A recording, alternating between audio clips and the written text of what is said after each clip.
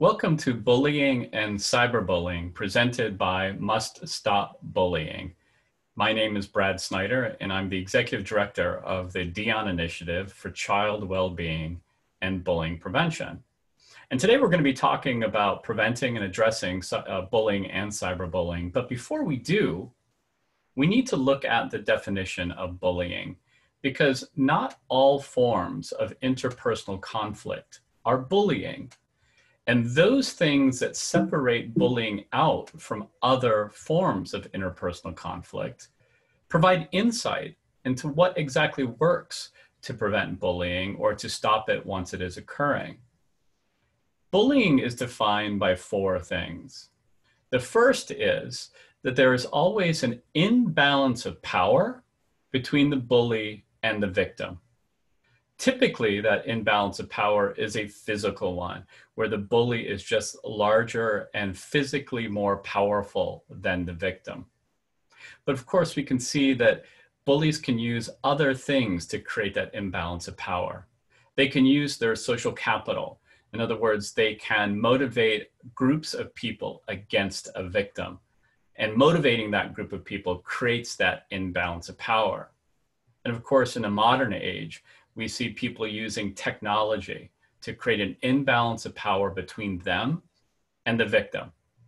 But for it to be bullying, that imbalance of power has to always be present.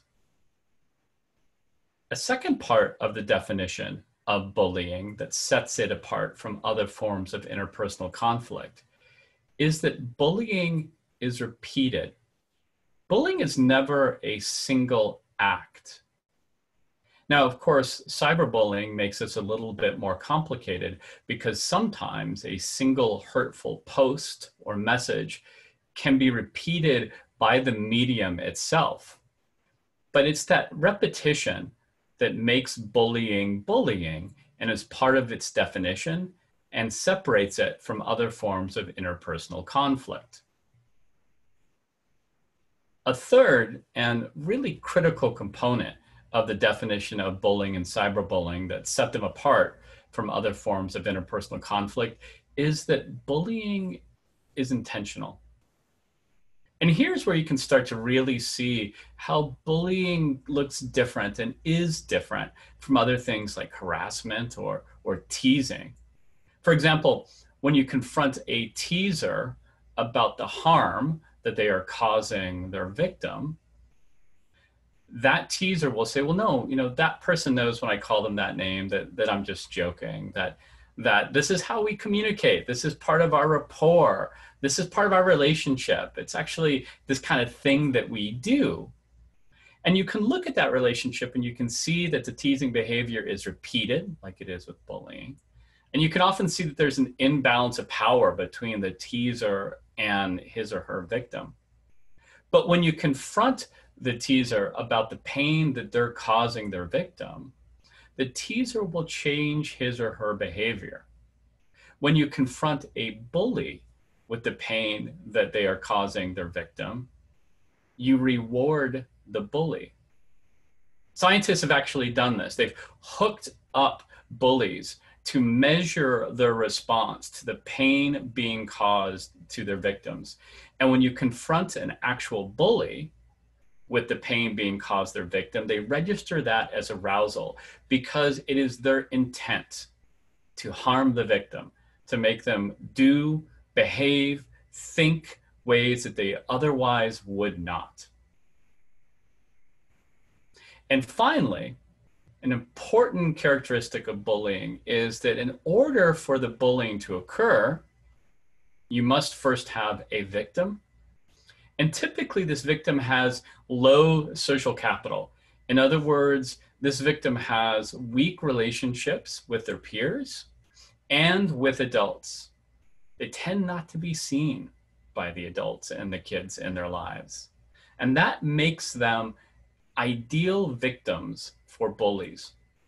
So the, for the bullying to occur, you have to have the victim, you have to have the bully, and the bully has what I call tenuous social capital. They tend to be well known by their peers, but they don't tend to have strong connections with them. And that's part of why they actually engage in this behavior, is because they're trying desperately to hold on to the value that their peers have given them. But finally, for the bullying to occur in virtually every incident of bullying, there's this third group, which we call bystanders. These are individuals that are neither bullies nor victims. And some researchers like to divide that group into many subcategories, but the important thing for you to know is that those bystanders tend to have healthy social capital. They tend to have stronger relationships with their peers than do bullies or victims. And they tend to have stronger relationships with adults. And that group, that characteristic of bullying, the fact that it always occurs with bystanders present, becomes really important when we start to implement um, programs and processes for either preventing bullying or stopping when it occurs.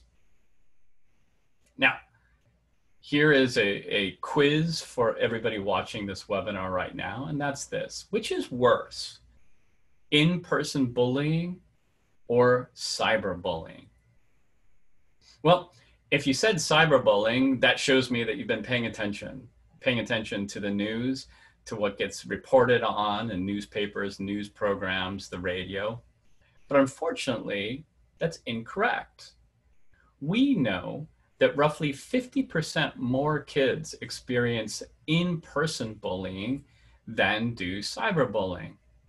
But the perception among people that care about kids is that cyberbullying is much worse. And I've given that a lot of thought.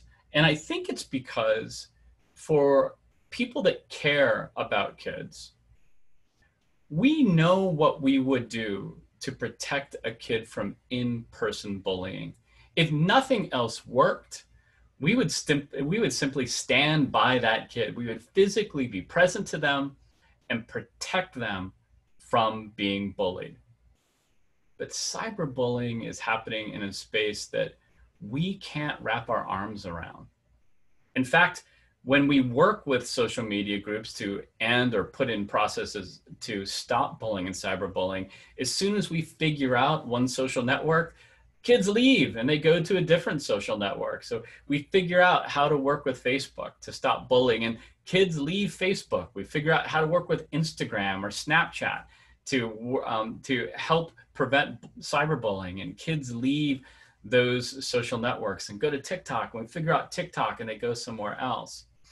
Well, I have some good news for you or for anybody who, like me, is worried about cyberbullying.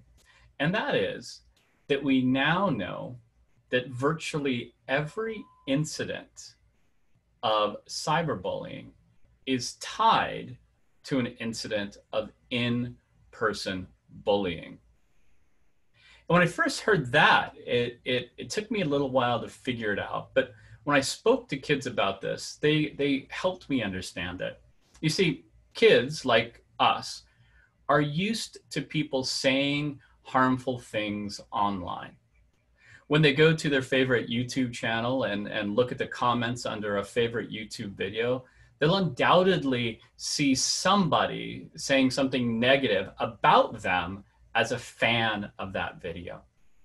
But kids don't register those harsh comments as cyberbullying. They tell us that they're used to people saying harmful, harmful things online. They register it as cyberbullying when the harmful things that are being said are being said by people that they have to interact with in their school environment and are being said to people that they have to interact with in their school environment. It's not that something harmful was said, it's that they have to experience the consequences of those harmful things in person. And that's where the hope lies, because now we know that if we eliminate the in-person bullying, if we get and help our young people treat each other better in person, we now can eliminate the cyberbullying. So how prevalent is bullying and cyberbullying? Well, roughly a quarter of youth in Arizona report being bullied in a typical year. And the national average is closer to 20%. So 19% of youth in the US report being bullied in a typical year. So in Arizona, our kids experience bullying at much higher levels. And about 19% of kids in Arizona experience cyberbullying in a typical year. Again, that number is higher than the national average. But there you also see that roughly 50% more kids experience in person bullying than do cyberbullying. What then are the consequences of bullying? Why do we care so much about it? Well, for one thing, we know that victims of bullying have decreased academic performance. And that's because virtually all bullying occurs at or near school. And because of that, kids who experience bullying or victims of it have a, a stark change in their relationship with school. Um, and that causes their academic performance to decline. But we also know that entire schools that have bullying problems experience decreased academic performance. It seems that just having bullying in the environment makes that school a more difficult place in which to learn. So even if you're not a victim of bullying, but bullying is happening in your school environment, you're less likely to learn and you perform more poorly on standardized tests. So when we look for reasons to stop and prevent bullying, we have to think about beyond just what happens to the victim and also look what is happening to the entire community when that bullying is allowed to occur. We also know from some very good longitudinal research that victims of bullying experienced increased depression and other mental health issues clear into adulthood. Finally, and this is a, a, dip, a difficult one to wrap our heads around, there are increased suicidal behaviors among victims of bullying and cyberbullying. We have to be very careful here. Bullying does not cause suicides, but it can be a factor in some juvenile suicides. And again, um, the, the, statistics on this are that in a given year, roughly 23% of female youth contemplate suicide. But among bullied female youth, that number jumps up to 45.1%. And you know, we need to kind of put some of those suicidal, um, those suicide numbers in context. Um, because we tend to think of these problems, bullying, cyberbullying, suicide, as being specific to a population, that it's not a societal suicide problem, it is a juvenile suicide problem. And I just want to give you a couple numbers to think about. So in Arizona in 2015, which is the last year we have complete successful suicide data, roughly 6.3 out of 100,000 10 to 17 year olds committed suicide in 2015. And in that year, that number was up slightly from the previous year, mostly due to female youths. In that same year, though, 22.3 out of every 100,000 35 to 55 year olds committed suicides. And I chose that demographic because that's roughly the age of the parents of our youth.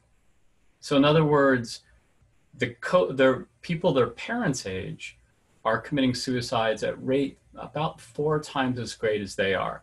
So when we think about things like bullying, like cyberbullying, or like suicide, we have to keep it in a context and realize that it's not just a juvenile problem sometimes, that it's a larger community problem.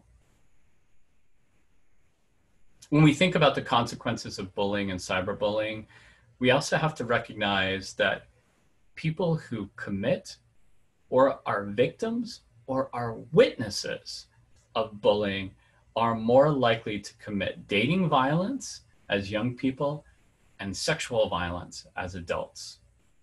There is something about being present to the kind of manipulation and harm that is caused in the bullying dynamic that make both the bullies, the victims, and the bystanders more likely to engage in dating violence. So if we care about things like the Me Too movement, or if we care in general about dating violence, about rape, about other forms of sexual violence, then we care about stopping and preventing bullying.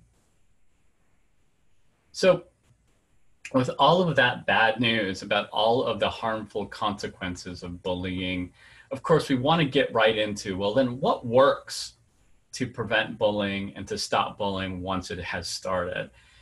But for me to explain that, it's useful for me to tell you a little bit about what does not work. So, one of the things that does not work to stop bullying is peer mediation.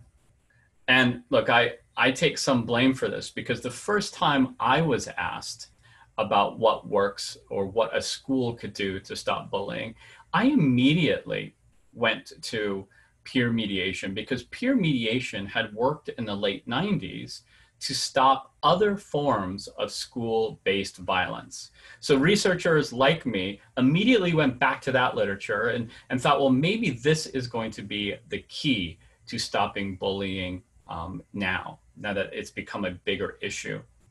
The problem is, if you think about what mediation actually involves, you can start to see why not only does it not work, but it creates harm for the victim. In a traditional mediation, two sides give up parts of their position to find common ground. But what does a victim of bullying have to give up? If you recall, I told you that the victim was picked not for something that they've actively done to harm the bully, but the victim was picked because they had low social capital. The victim was picked because they were weaker and had fewer friends than other kids in that environment. So, what does the victim have to give up? And yet, we sat bullies and victims down together for mediation. And the bully would say something like, Oh, I did look at him and he just makes me so angry because he's so weak and he's such a loser and an outsider. Well, how is the victim supposed to respond to that? Well, I'm, I'm, I'm sorry that I'm weak. I'm, I'm going to get stronger. You know, I have been eyeing a gym membership. And at the same time, we were re traumatizing victims by forcing them to explain the harm that was caused to them. And as I've already explained to you, every time they explained their harm to the bully, we were rewarding the bully. So peer mediation does not work to stop bullying um, once it's occurring. Another thing that does not work to stop bullying are these zero tolerance or three strikes you're out policies. And there's a couple reasons for that. I'm going to address um, to them separately. The first is remember those bystanders that I talked about? Those people that were neither the victims nor the bullies? The ones that had better relationships than victims or bullies with other peers and with adults? Well, we need them to tell us as caring adults when the bullying is occurring. Because, as I've mentioned, victims tend to be invisible to us, and bullies are very good at picking locations for bullying that are outside of our view. It's those bystanders that we rely on to know if the bullying is occurring, because for reason I'm going to address in a little bit, victims won't tell us either. So bullies aren't going to tell us, victims aren't going to tell us, those bystanders. Well, when we implemented in schools these zero tolerance policies, which typically meant that if bullying occurred, that the bully would be expelled, we alienated bystanders. Bystanders told us, look, I don't want the bullying to occur, but I'm not willing to get the bully in that much trouble. That's just way too much pressure for me. Like I wanted to stop and I, I would tell you about it, but getting him or her kicked out of school, boy, that's just way too much pressure for me. So zero tolerance policies don't work for that reason. But they also don't work because they focus on the bully. They make the bully the cause of the problem. Now, when I was describing the bully earlier, you remember I said that they have a tenuous social capital, that they're engaging in the bullying behavior in order to get value in the eyes of their peers. Well, if you get rid of that bully, you still have that environment that rewarded the bullying behavior to begin with. So another bully is just going to jump in. The key is not to focus on the bully, but to focus on that environment in which bullies get value, get esteem, get rewarded by their peers or by the larger community for that coercive bullying behavior. By the way, we also know that the long term prognosis for bullies is pretty bleak. They're much more likely than non bullies to engage in criminal activities, to perform poorly academically, and to have relationship problems clear into adulthood. So, as people that care about kids, we don't want to get rid of bullies. Rather, we want to change that environment that rewarded the bully for that behavior. Something else that doesn't work speakers, assemblies. And look, as a speaker, I recognize the irony in that statement. But too often, we at schools will hold and have held anti-bullying rallies. We bring in an outside group and we get everybody excited about preventing bullying. And then that group goes away and we've done nothing in the day-to-day activities of the school to actually change the environment that allowed that bullying to occur. And so the statistics, the science is fairly clear. Single assemblies do not work to stop or prevent, bullying. Finally, if you can see these splitting, spinning plates, you know that I recognize that our schools have a lot to do. We keep giving them more things. We, we make them responsible for nutrition. We make them responsible for um, drug prevention, not just education. And we keep adding things, including adding bullying prevention programs. Well, too often in those layers, we start running programs that actually undermine each other. So if you're aware of your school's school climate program, then you know that that is your bullying prevention program. You shouldn't run a bullying prevention program on top of your school climate program. Why? Because they're going to use different language for the same behavior. And your staff and your kids will get confused. They'll be getting inconsistent messaging and be taught inconsistent uh, skills and tools for coping. So your behavior management plan, your school climate plan is your bullying prevention plan. If they're separate, pick one and make them um, and use them universally so that everybody's on the same page using the same language. Now the good news, what does work to prevent bullying and to stop bullying when it does occur? Well, one thing that works is clearly communicated expectations do your students know what to do when they witness bullying? Do they know what they're supposed to do in terms of reporting and to whom they're supposed to report? Do they know how to intervene? Has that been explicitly communicated? Has it been posted in ways to remind them? And let's go one step further.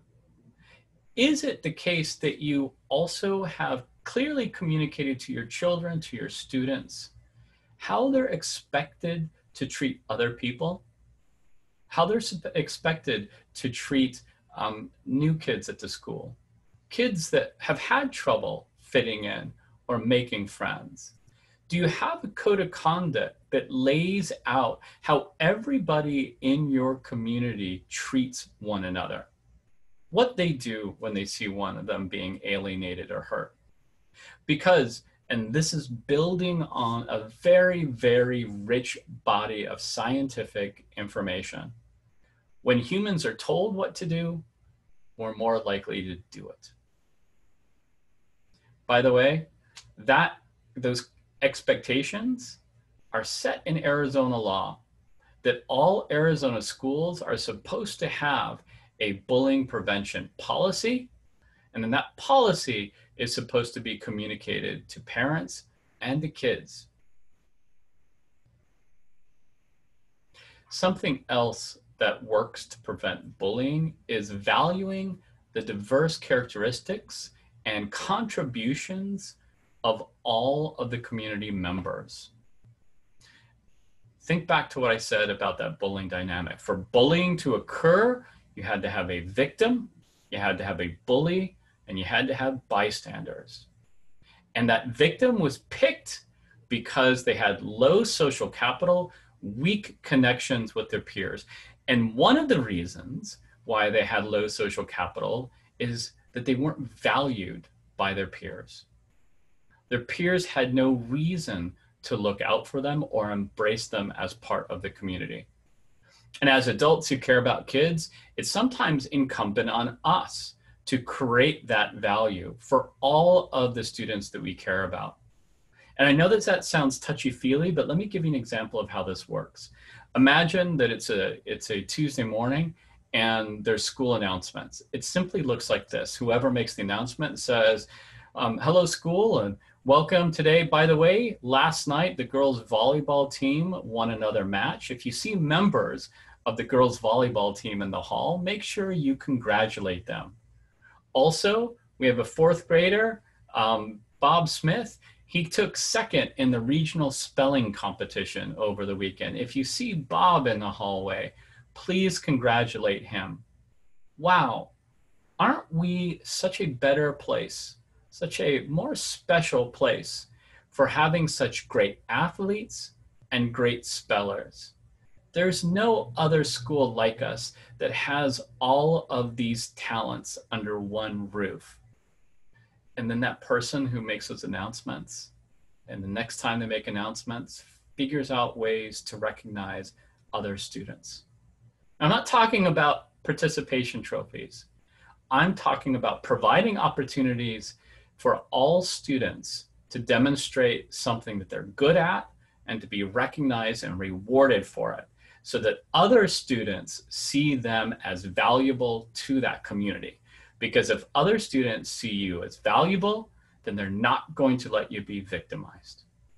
And if students even value bullies for reasons other than being bullied, those bullies are less likely to engage in that bullying behavior.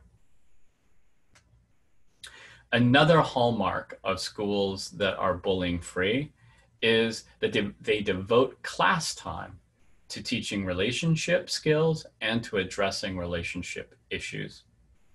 The fact that class time is actually used to address relationship means that all the students in that class take it seriously, those relationship and those relationship skills.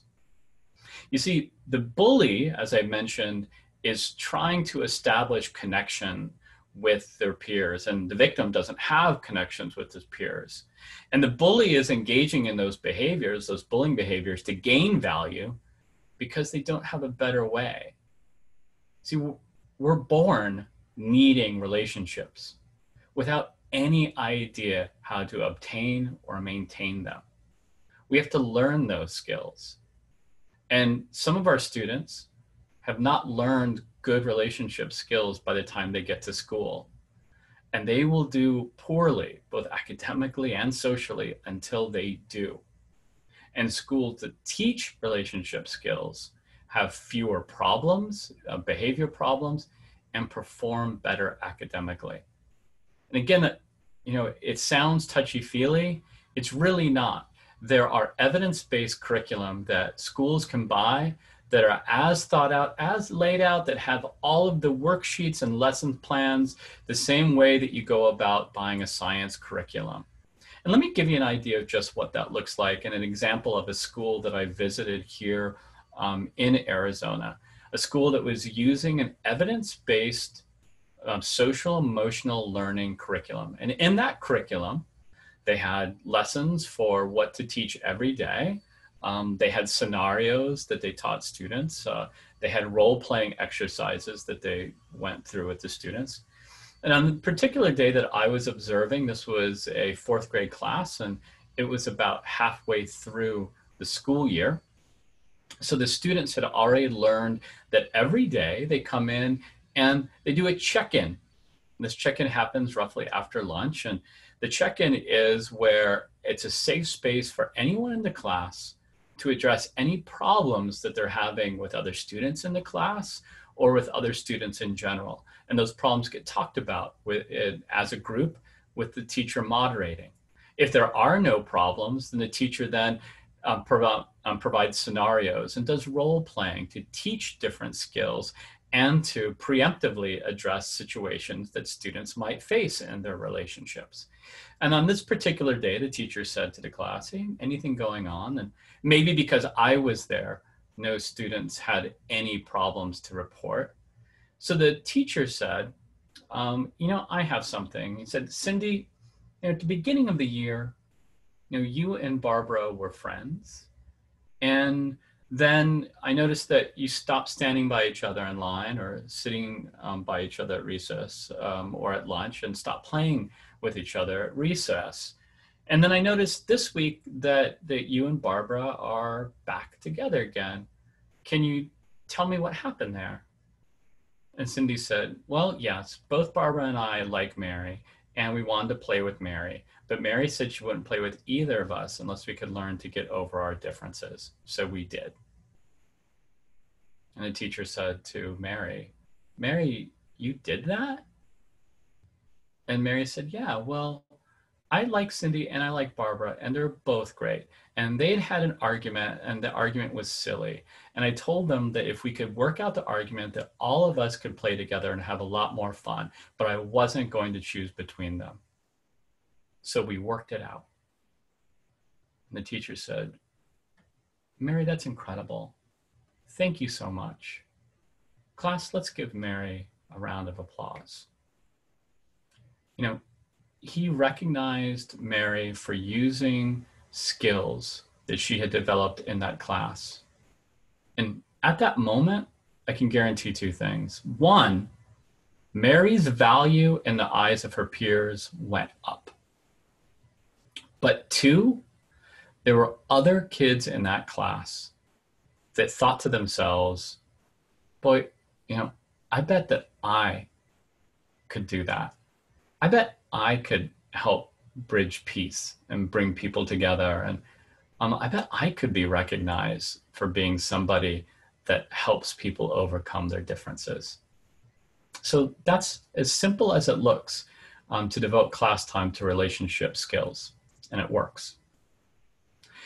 Finally, and remember I talked about how those bystanders are so important.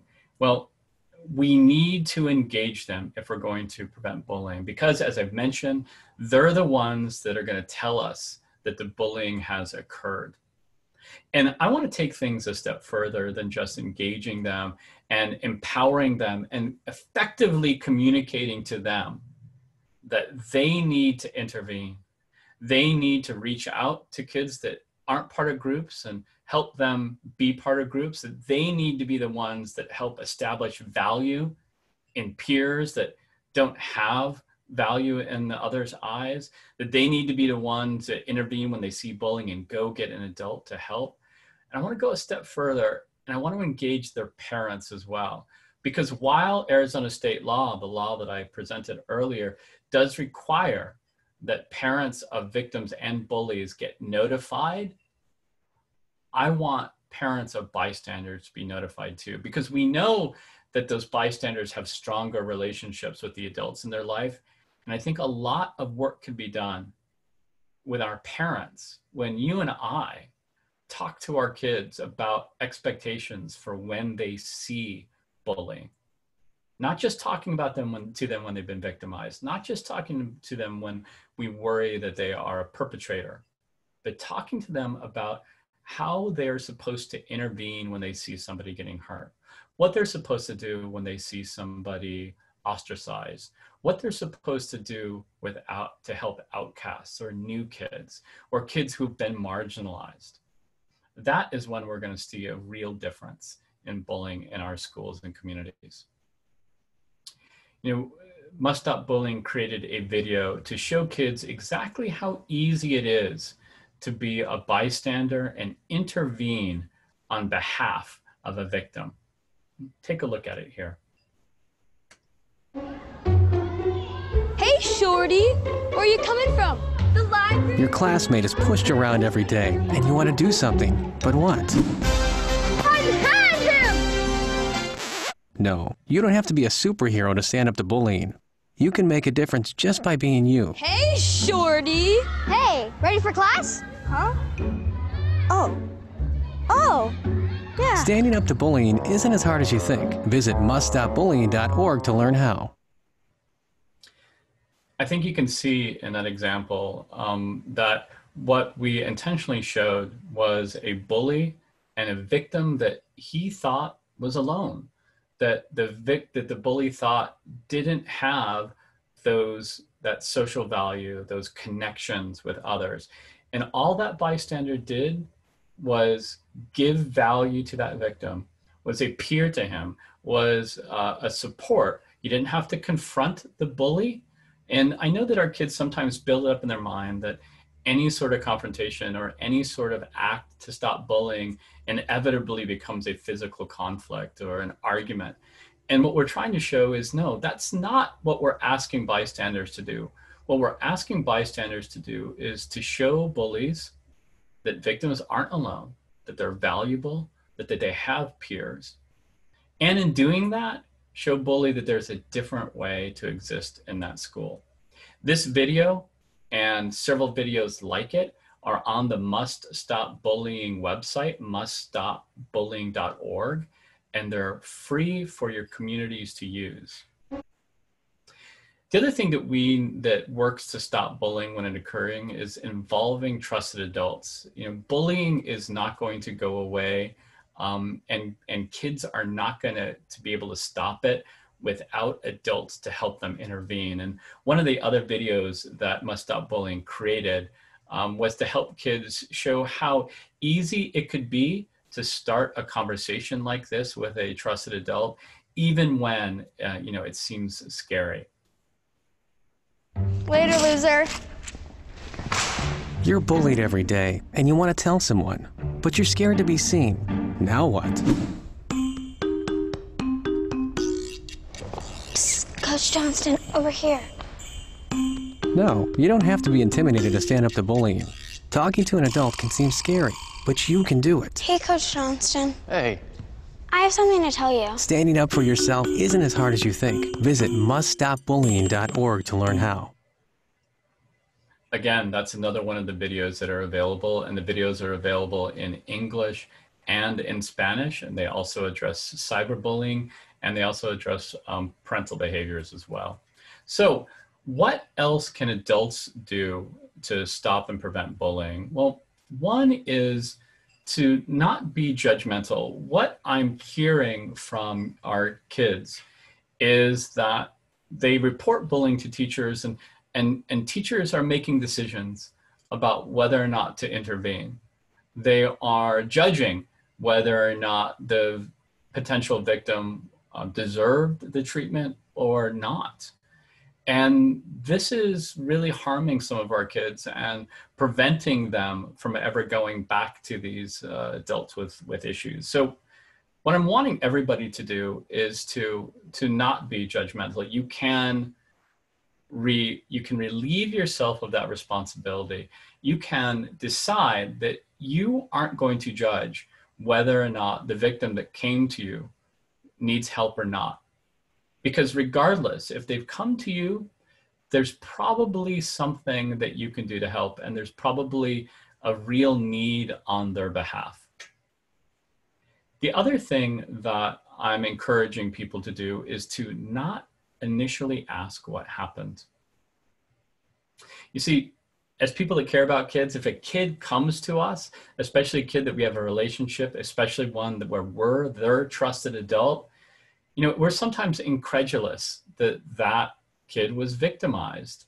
And it's the first thing we ask, isn't it? We say, "Oh, what happened? Why would they? Why would they? What they do to you? Why would they do that? You're so great. What did they say?"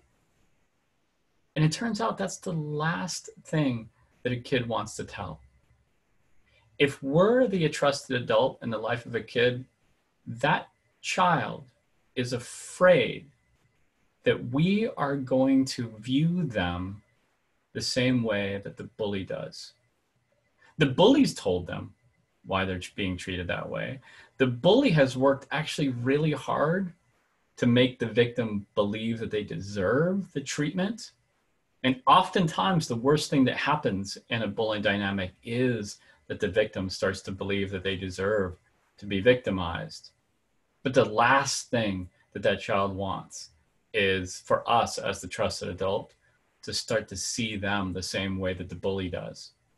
So don't lead with that question. And I know that at some point, the bullying needs to be documented. It needs to be written down somewhere, especially if you're going to take action.